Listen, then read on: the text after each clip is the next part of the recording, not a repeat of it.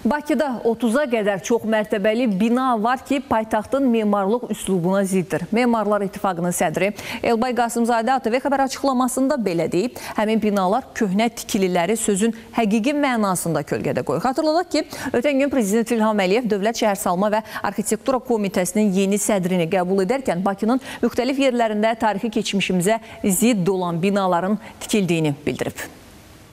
Əfsuslar olsun ki, əvvəlki e, dövrlərdə şəhərsalma qaydaları bəzi hallarda kobudcasına pozulurdu və e, Bakının müxtəlif yerlərində tarixi e, keçmişimizə zidd olan heç bir memarlıq standartlarına uyğun olmayan yöndəmsiz və eybəcər binalar tikilirdi və o binalar elə tikilirdi ki, həm ümumi mənzərəyə ziyan vururdu, həm də ki, heç bir şəhərsalma əmsalı orada nəzərdə tutulmurdu. İndi son vaxtlar mənim göstərişimlə xüsusilə Şəhərsalma və Arxitektura Komitəsinin rəhbərliyinin dəyişilməsi nəticəsində artıq bu qaydalara riayət edilməyə başlamışdır və bunu iş adamları da nəzərə almalıdırlar. Bakı şəhəri bizim tarixi sərvətimizdir. Memarlar İttifaqının sədri, tanınmış memar Elbay Qasımzadə deyir ki, dövlət başçısının narazılığı tam haqlıdır. Doğrudan da lazımsız paytaxtın memarlığına zidd olan binalar tikilib. Məhz buna görə də prezident xüsusi diqqət göstərərək konkret tapşırıqlar verib. Bilirik ki, mərtəbələrin sayı 4, 5 Bir dənə Bakıda 7 mərtəbə var idi. Baksovet metrosu ilə üzbəüz, Sahil metrosu ilə üzbəüz adla deyilirdi ki, bu 7 mərtəbədir. Qalanlar hamısı 4-5 mərtəbə idi.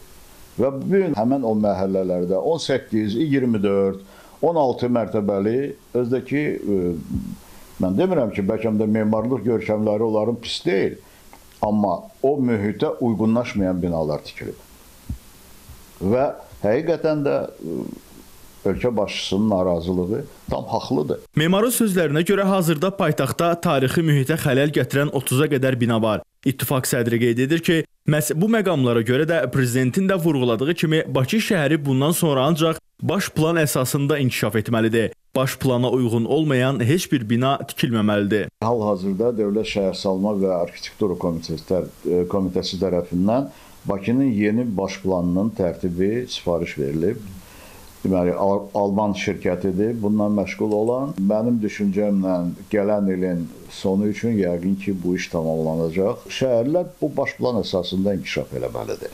Baş plan strateji sənəddir.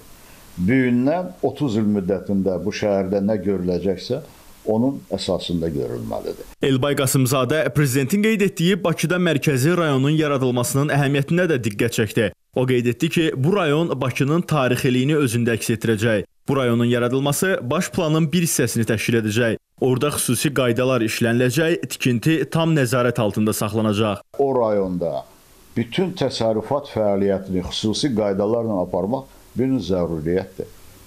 Biz bunu bu gün etməsək, 10 ildən sonra biz Bakının tarixi hissəsini görməyəcəyik. Əsas bazası Səbaylı rayonu olmalıdır.